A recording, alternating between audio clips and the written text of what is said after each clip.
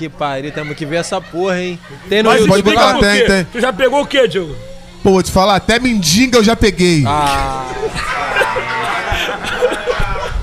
que isso, Ué, qual é, Ted? Depois de um banho bem dado, um Eu banho, vou contar essa história. aquele sabonete do ovo, Eu na vou contar moral. essa história, eu vou contar essa Porra. história. Vale eu a vou pena. contar essa história. Depois ficar pro moleque, ó, bola pra frente, mano. Vale a pena, É? vale a pena, eu vou, vale a pena. eu vou contar essa Então história. vamos contar essa Ah, história. Conta, conta, conta.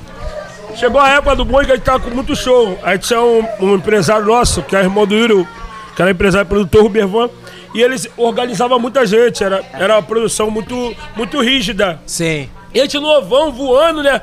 Show pra caraca, a gente doido pra. Mano, queria pegar as mulheres, arrumar os. Mano, só que nesses dias, ele ficou 10 dias com a gente direto, sem dar um escape, mano.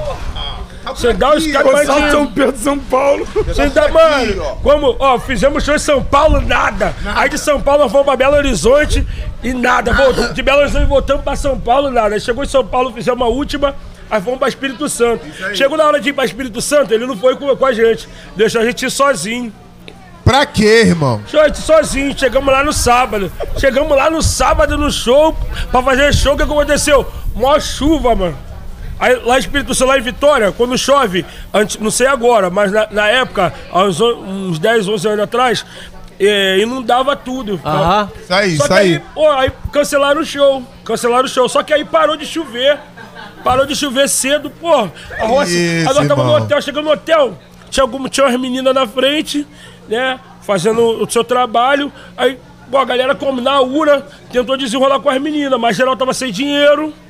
Não deu pra rolar. Aí, pô, os caras falei pros caras, "Qual vamos dormir.